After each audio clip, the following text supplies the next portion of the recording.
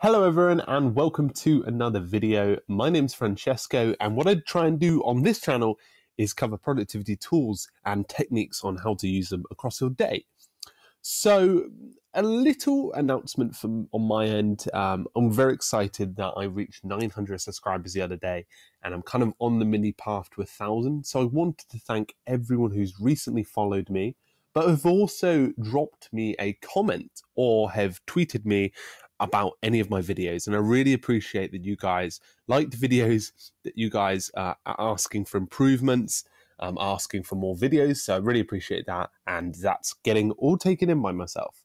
And I'm developing more and more editorial calendar content to go out very soon.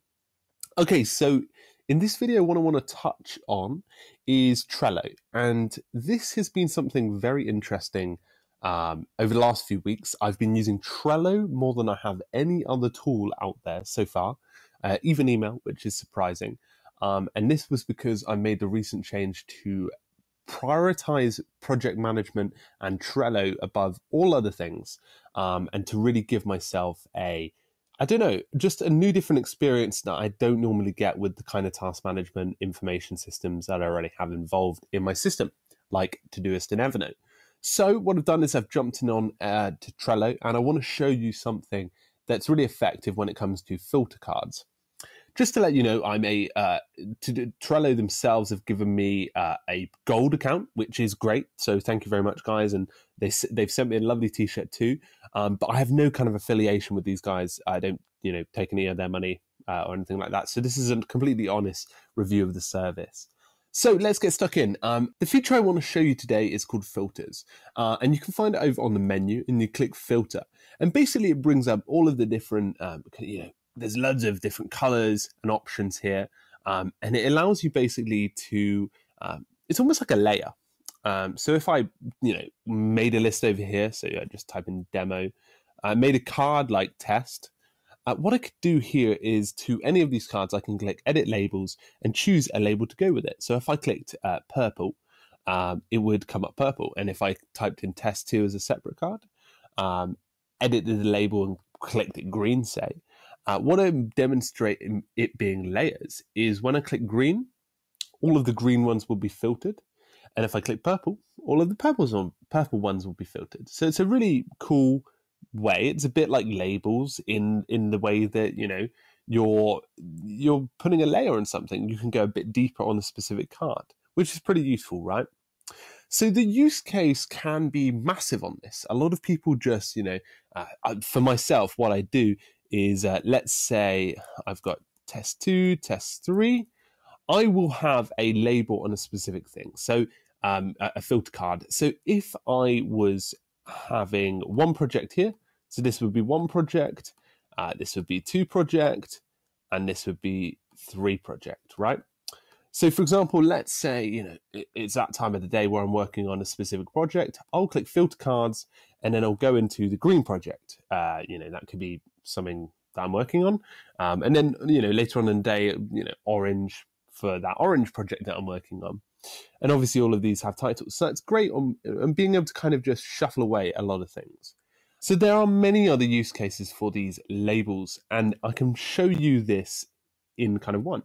Uh, so what you can do straight away is if you're a kind of uh, person that works off energy. So, for example, you know, I'm tired in the morning. Uh, that's inactive energy. If I'm fairly mellow in the midday, you know, I can do heavy tasks that require a lot of my brain power to do that's active. And proactive is where you're really pumped and you can do anything. So what you can do is you can actually name these labels. So I'm going to put proactive as green, um, active as yellow, and then um, inactive as uh, what's that? That is um, orange. uh, what you can do, so for example, let me just get rid of this list. Um, so here I'm going to make a new list called demo again. And then I'm going to make a task called uh, clear emails and reply to all. So let's say that's a task. Because it's inactive, I can tag it with the inactive task. Well, because it's something that requires a lit- at least amount of energy. Um, okay, another one could be email Bob about his new haircut. You know, these are th- vital things in your day. Um, and I'm going to edit it and click inactive here too. Okay, so another medium active medium task is create the new uh, homepage for website. Um, actually, that's a proactive task. I think seems quite heavy. So I'm going to click proactive, and then down here I'm going to like write 100 words for report, right? And then that's a medium, uh, you know, inactive task, right? So now I've got all of these demonstrated up here. What you can do is, you know, throughout your day, uh, dependent on the energy level you're at. So, you know, you you kind of see that you're slipping off and you want to actually get some tasks done, but your brain power isn't there. Let's say between you know eight and nine in the morning, you're still waking up and you actually want to get some stuff done. So you can simply hit inactive and find all of those tasks that you can complete that are inactive and that you can get working on straight away let's say, you know, after lunch, you're refueled, you're refocused, you're listening to all of your favorite songs, you can just hit proactive and see all the heavy tasks that you can do. You can also do this relevant to time. So, for example, if I went onto uh, these edit labels again, you could, you know, you could do this specific to 10 minute tasks uh, and this 20 minute task, um, 30 minute task so you could you could do the exact same thing. So let's essentially say that these are tasks that take this period of time. Uh, what you could do is like you know I've got ten minutes. Okay, I can do this task. Okay, I've got twenty minutes. Um, I've got twenty minutes overall, and it includes a ten and 10 and 20 minute task or i've got half an hour what can i complete in half an hour that takes specifically half an hour hopefully emailing bob about his haircut doesn't take that long um, but this is quite useful the next thing you can actually use it on is priority. And uh, for a lot of people, priority orientation is quite important because you can be able to jump in and see what you actually need to do. So what I actually do in my day is have a alongside of the projects that I work on is a priority tab. So I name the red one a priority tab because then I can pick it out from the kind of you know that's quite important and it's red and that's valuable. Um, so obviously, what you can do is you can double tap two two labels, so you can have a thirty minute one that's priority. And from here, you know, if I'm if I'm throughout my day and I'm like, oh, uh, I need to actually see things that need to be prioritized or actually actioned as fast as possible, I can click priority and and imagine all of those tasks come up here. You've got quite a few of them. It's quite important being able to see that kind of thing at scale, um, so you can see all of the stuff, which is great and finally, another thing that you can do with, uh, you know, another thing that you can do with this label system is be able to filter it through what equipment you need. So, for example, let's say this task uh, required a smartphone, uh, but this task over here required a PC. So, what I could do is I could label throughout my day, you know, oh, this one's a smartphone smartphone task, this one's a uh, PC task, and as you go across your day, you could have fil- you could just quickly click smartphone and then get a filter of exactly uh, you know what device you need to complete um, at that specific time. So let's say you know you're just about to you're just about to get in a taxi and you want to see all of the tasks that you want to complete with a smartphone. So you can hit the smartphone filter and then see all of those tasks at a glance. And imagine that on scale two, you can now see all of the stuff you can get on with, uh, which is pretty great.